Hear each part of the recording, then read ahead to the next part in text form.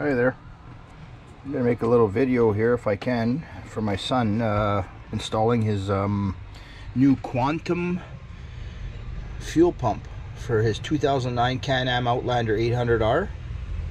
Um, figured that his uh, this is what comes in the kit anyways.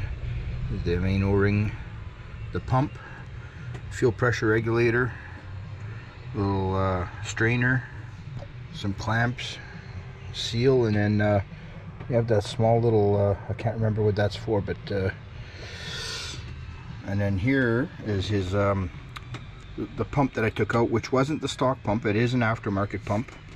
Been in there for quite a few years I guess and uh, was only putting out 8 psi so couldn't get the bike started anymore after a long ride. It was losing power and then uh, eventually it wouldn't even start anymore.